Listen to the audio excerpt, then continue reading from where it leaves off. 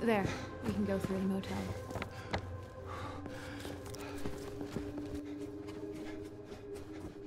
Hey, wrong way. We already passed the motel. James, your wife, what was she like? Or is...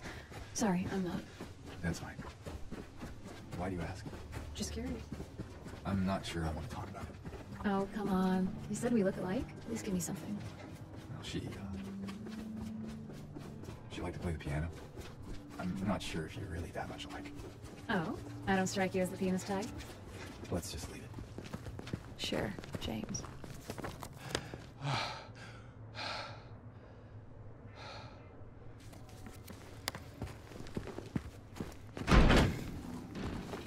Uh, you know, uh, you can go outside if you want.